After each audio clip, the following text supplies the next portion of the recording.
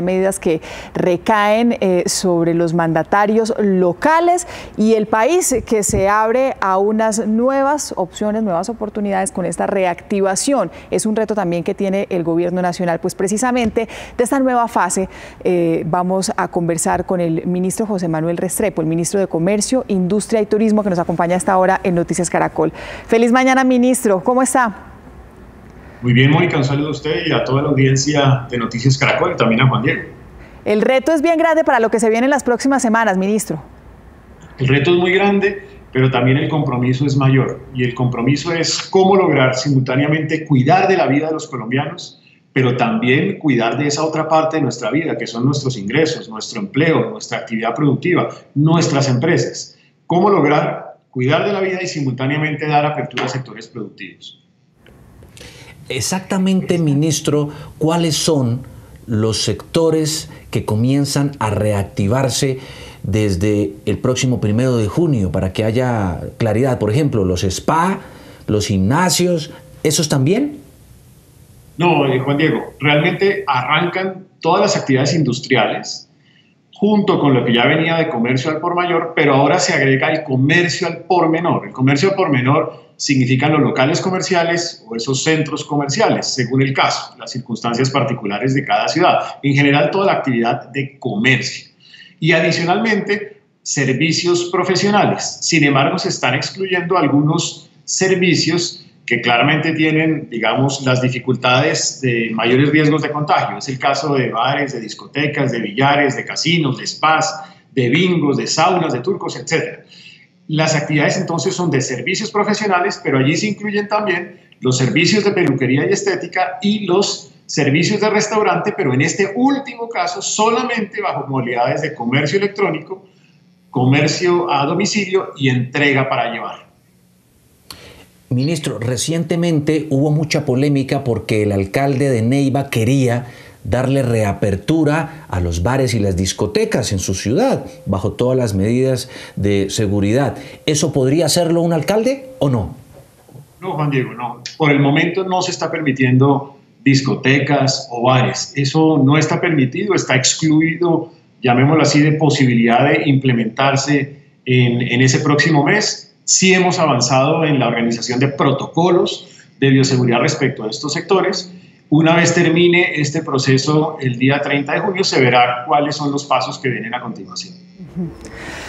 Ministro, entendiendo por supuesto las condiciones actuales y que la lista se va ampliando de cuáles son los nuevos sectores, en, redes sociales se, preguntan por qué no se dice más bien qué no está permitido. ¿Es más fácil hacer la pregunta así?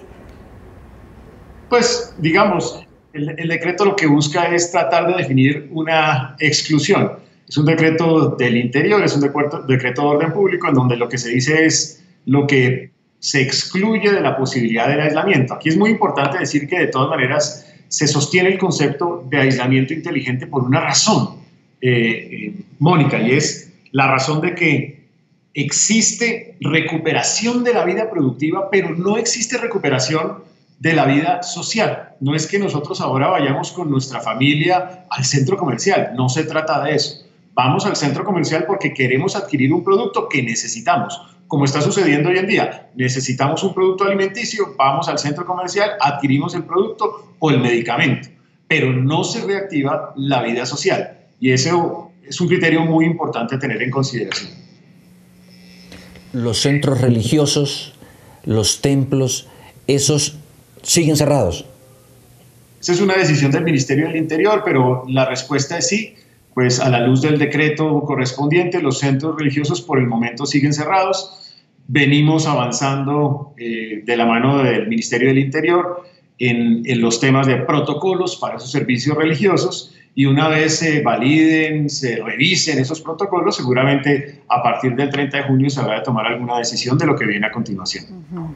Uno de los, de los sectores más afectados es el sector del turismo. Efectivamente será tal vez uno de los últimos que entre a operar, pero hay algunas ciudades como Medellín que ya está pensando en reactivar, por ejemplo, los hoteles. Las opciones para ellos y, el, y la proyección para ellos, ¿cuál es, ministro? Hoy los servicios de alojamiento pueden funcionar en algunos de sus servicios prestados. Por ejemplo, el servicio de restaurante puede ofrecer servicios hacia afuera. Todos los servicios de lavandería lo pueden ofrecer también como servicios hacia afuera. Como tal, no existe una restricción en materia del, sector de turismo distinta a, algunas actividades particulares, pero de todas maneras, para que el sector de turismo funcione, necesitaría del transporte terrestre y necesitaría también del transporte aéreo.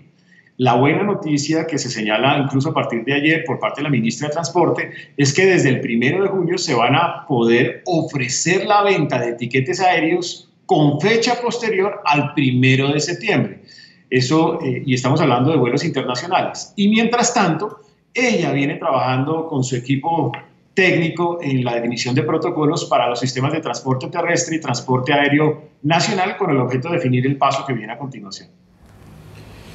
Eh, eh, este decreto también da apertura para que se puedan reactivar los parqueaderos públicos, los parque, estos escenarios colectivos.